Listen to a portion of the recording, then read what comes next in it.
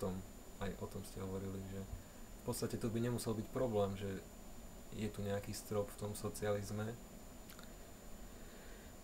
Lenže socializmu sa neusnažilo trvalo udržateľný život. Socializmus sa snaží len rozdeľovať, len spravodlivejšie to rozdeľovať, tie zdroje. Ale on drancoval prírodu, zdroje rovnakým spôsobom niekedy prípade povedzme nejakých čínskych prírod alebo čo ešte horším ako, ako kapitalizm.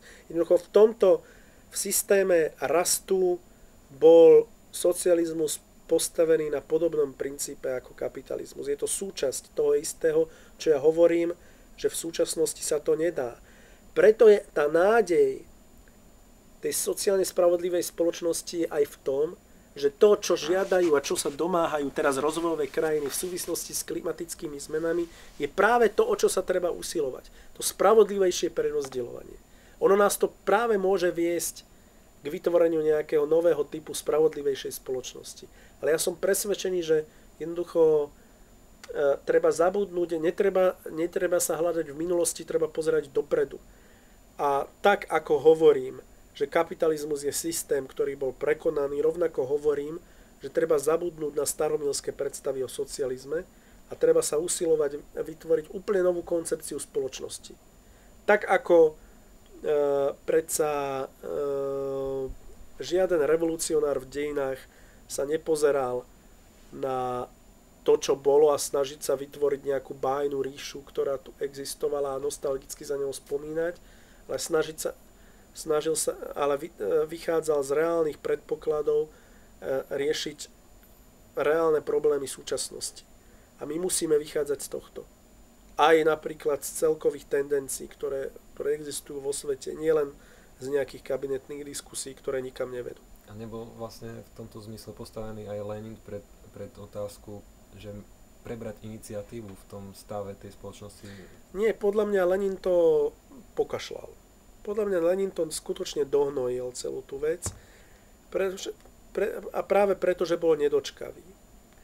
A na jednej strane sme si hovorili, že Marx nemal predstavu tej spoločnosti, ako by mala vyzerať. A Marx skôr hovoril, on nenabádal na priamo revolúciu, on o tom skôr hovoril ako o vízii, ako taký náboženský prorok o niečom, niečom čo príde ale zasa pomenoval niektoré tie parametre, kedy je tá spoločnosť zrelá na to. A ten Lenin to nezvládol, túto vec.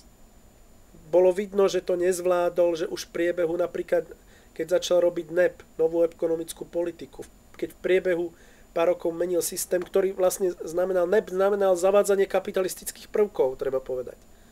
A to Stalin potom zrušil.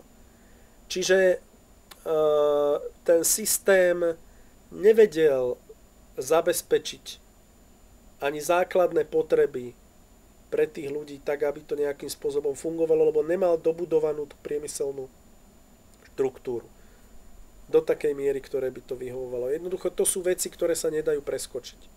A čo nám teda, no, pardon, ešte, čo nám teda zostáva dneska ako v tejto situácii robiť?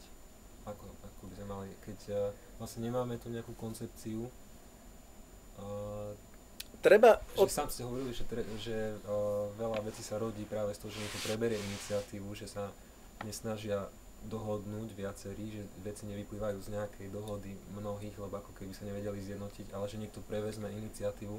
Kto by mal prevziať iniciatívu? No, treba predovšetkým tvorivo uvažovať o týchto veciach a zbaviť sa takých a uvažovať o tom systémovo čiastkových otázkach sa snažiť pretláčať to, čo ide, napríklad Tobinová daň a podobne. Sú veci, ktoré vás nemôžu uspokojiť, ale sú to prvé kročky k tomu, že keď postupne tehličku po tehličke budujete nejaký systém. Tak ako e, pred 100 rokmi sa postupne snažili najprv bojovať za 8-hodinový pracovný čas. Vybojovali si 8-hodinový pracovný čas, potom sa snažili vybojovať volebné právo žien a tak ďalej. Aj tu treba isté veci budovať tehličku po tehličke. To je jedna rovina veci. Tá druhá rovina veci je e, začať uvažovať naozaj systémovo, nebáť sa toho a, a to tu chýba. Aj tie intelektuálne diskusie, ktoré sa vedú, vedú sa v okrajových veciach. A nemajú veľký význam. Ten, tá systémová diskusia tu chýba.